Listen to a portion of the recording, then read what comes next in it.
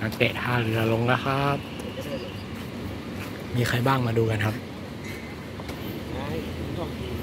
แล้วก็มามุ้ยกับชาดี้มาพอดีครับคู่หูยุโรปครับยุคนแรกคือใครครับ ธนาสิทธิ์ธนาสิทธิ์ลงคนแรกครับ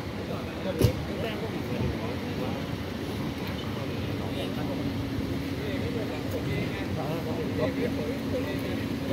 ม่เอาเสื้อเออ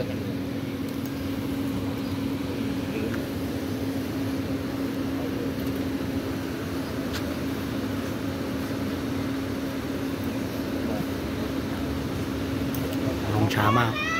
โมต้าโมต้ามาครับโมต้าเดินมาหาแฟนคลับครับ ฟิลิปเป้ ฟิลิปเป้